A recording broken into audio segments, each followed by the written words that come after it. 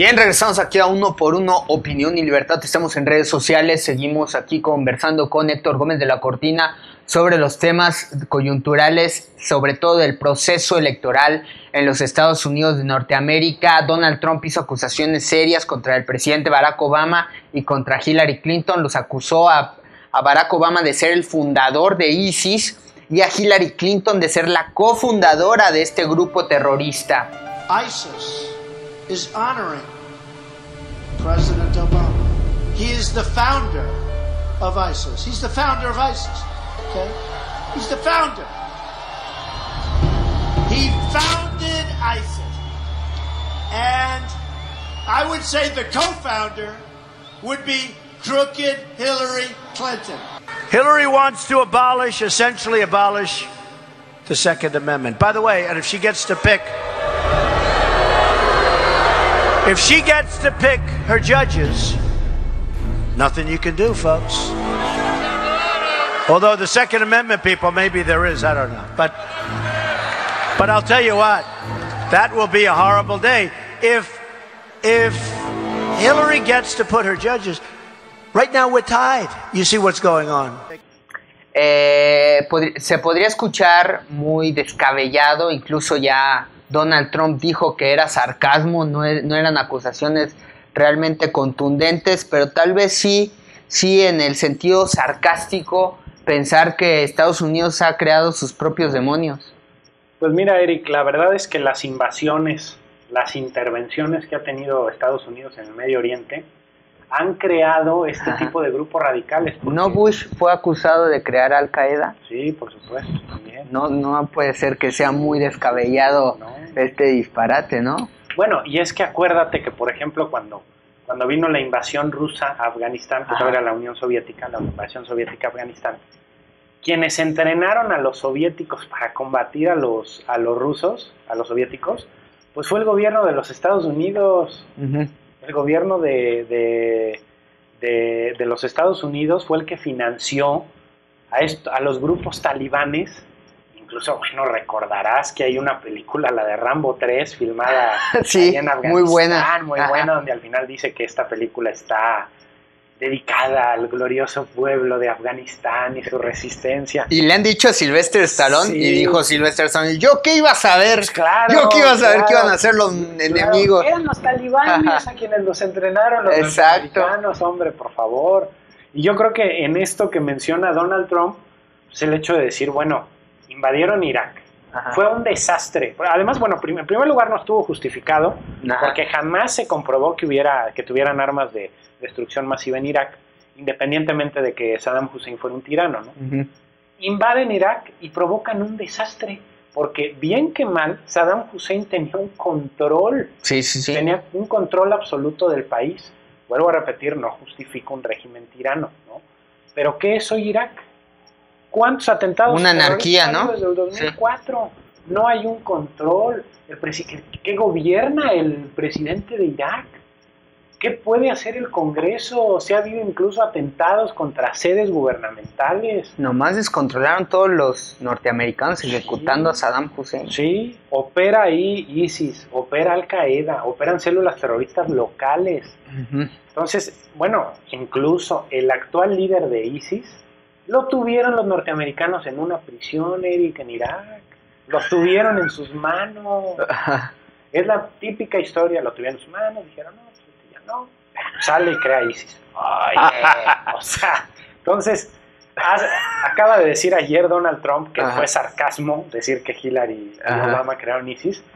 Pues sarcasmo, no, lo dirá de broma. Exacto. Pero en cierto modo el gobierno norteamericano con sus acciones, yo, lo de Obama no, ¿eh? Porque Obama llega después a la presidencia. Obama llega. Sí, pero que era un desastre. Ya se gesta el Estado Islámico. Exacto. Pero supuesto que con las acciones que ha tenido el gobierno norteamericano en, en, Oriente ha provocado que surjan este tipo de grupos que hoy son una amenaza a la seguridad mundial. Me llegaba hace unos cuantos minutos una notificación del periódico Excelsior que un loco se acaba de meter a un tren de Suiza eh, con un cuchillo y ahí con una especie de spray y un encendedor y hay aparentemente siete heridos. ¿no? no hay más información. Sí. Probablemente en unas cuantas horas ISIS se vaya a atribuir el, atentado. O sea, ya son ataques contra todo lo, contra las libertades del mundo occidental en cualquier país del mundo y bueno, actualmente pues traen a Europa pues en jaque. Es muy complicado detener esto. Eh, sin embargo, bueno. ¿Pero le está funcionando la estrategia a ISIS o se están valiendo de esto para llegar a proteccionismos, para no dar el famoso neoliberalismo, estar luchando por eso, pero todos viven con miedo, ya no puedes cruzar fronteras ni hacer comercio exterior. Es que, yo creo que le funciona a ISIS en la medida en la que genera terror en los ciudadanos. O sea, si tú te fijas... Entonces es una pelea por inhibir el comercio exterior. Yo creo que, este... yo creo que hay parte de eso, por sí, supuesto, ¿no? sí, claro. o Estados Unidos se vale de eso para, que ya no vengan más latinos, que ya no vengan... Fronteras, pues, también pudiera ser. Aunque no es la postura, no ha sido la postura del, del gobierno actual de Barack Obama, por ejemplo. ¿no? que sí podemos pensar que sería la postura del gobierno de Donald Trump. Sin embargo, lo que, lo que platicaba el otro día en una ocasión con un buen amigo licenciado es que si, si hacemos una remembranza de los ataques de Al Qaeda, pues, que contra el Pentágono, que contra las Torres Gemelas, que contra la estación de trenes de Madrid, que contra la estación de trenes en Londres, ¿no? O sea, como que eran atentados donde había gran aglomeración de personas, esos eran los blancos. Y ahora con ISIS, el terror que está provocando es que pues tú un día vayas a comerte una hamburguesa a un McDonald's de Suiza o de Austria y resulta que llega un loco ahí con un cuchillo y se pone a atacar gente. Ah, y a lo mejor a lo mejor no mata a ninguno, a lo mejor mata a uno. Sí, pero el hecho es de que pues tú dices, bueno, pues yo voy a un restaurancito, pues ahí no va a pasar nada, El riesgo es si me voy al metro, el riesgo es si trabajo en una oficina gubernamental. No, o sea, y ahora cualquier lugar...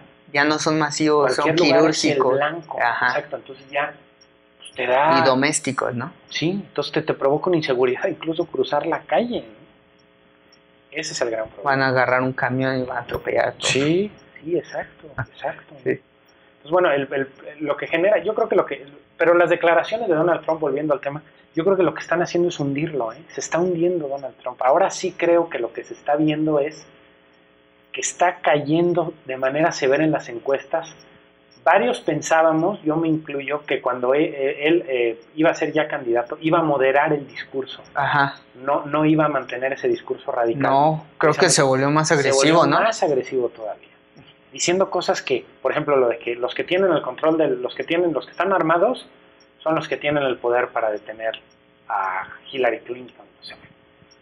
Ah, sí, se estuvo duro. entendieron o algo, pues sí, bueno, pero de momento, pues, ¿qué es lo que das a entender? que, vayan y que, le que la maten, sí. por favor. Entonces, ya ayer una encuesta eh, coloca a Hillary Clinton 14 puntos por encima de Sí, pero las encuestas ya no tienen credibilidad. Bueno, en Estados Unidos creo que sí, todavía. okay. en México ya no creo que ya no son un buen método de... no, Mitowski, no. Parametría. No.